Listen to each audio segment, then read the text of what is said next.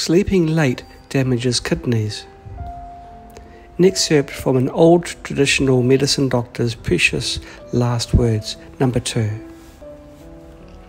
As we all know, the operation of the universe and the metabolism of the human body are mutually inductive.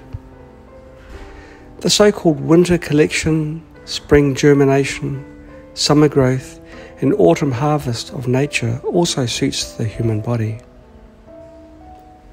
Kidneys are the foundation of innate nature, failing first when people get old.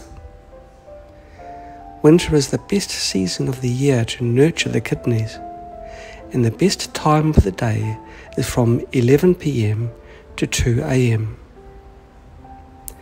If you do not recuperate and rest well during these two periods, instead of being worried in sorrow, indulged in lust, overthinking, and overworking, your immunity will decline rapidly.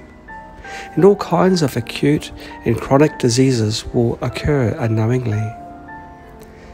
When the plague comes, you will be quite vulnerable. Therefore, you should go to bed before 11 pm and get up at sunrise. After this time, people's mind has become delusional. If you stay in bed, you have chaotic dreams and get drowsier and drowsier. It damages your health.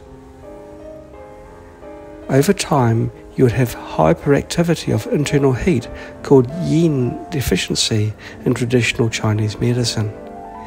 And that is why people with kidney yin deficiency tend to sweat a lot at night. The reason for it is because they have worries and fears, even in dreams while sleeping. People with peaceful minds don't sweat during sleep. Those with kidney yin deficiency tend to have more delusions and worries. Their karmas turn up in mind while they sleep, and that causes them to have night sweats. So do not oversleep it does harm to your body.